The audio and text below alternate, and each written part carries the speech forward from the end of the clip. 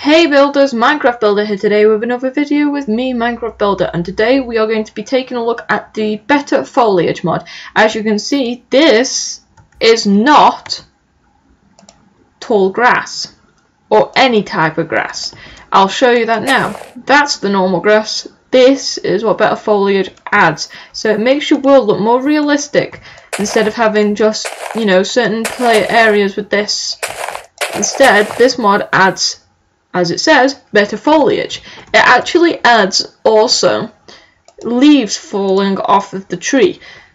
Um, which I thought was pretty cool because, you know, Minecraft is kind of boring. The trees just look like blocks and stuff, you know.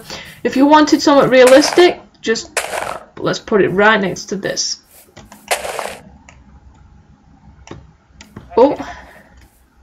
And as you can see, it's more bushier, and if you watch closely, there, there's leaves falling off.